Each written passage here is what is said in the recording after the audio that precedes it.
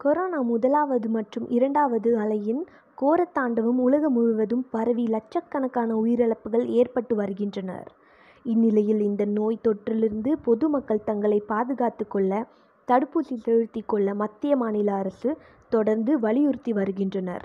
அதன்படி தமிழகத்தில் மாநகராட்சி மற்றும் அரசு சார்பாக தடுப்பூசி முகாமல் நடைபெற்று வருகின்றனர் இந்நிலையில் கோயம்புத்தூர் நாகசாய் டிரஸ்ட் மற்றும் தமிழக விவசாயிகள் சங்கம் இணைந்து நடத்திய தடுப்பூசி முகாம் சாய்பாபா கோவில் வளாகத்தில் நடைபெற்றது. இதற்கான துவக்க நிகழ்வில் நாகசாய் டிரஸ்டின் தலைவர் பாலசுப்பிரமணியம் தலைமை வகித்தார். தமிழக விவசாயிகள் சங்கத்தின் மாநில தலைவர் பழனிசாமி முன்னிலை வகித்தார்.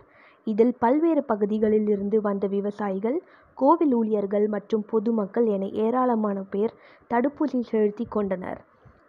முன்னதாக அனைவருக்கும் டோக்கன் வழங்கப்பட்டது. பின்னர் ஆவணங்கள் சரி பார்க்கப்பட்டு சமூக விலகலை பின்பற்றிய அனைவருக்கும் தடுப்பூசி செலுத்தப்பட்டுள்ளது.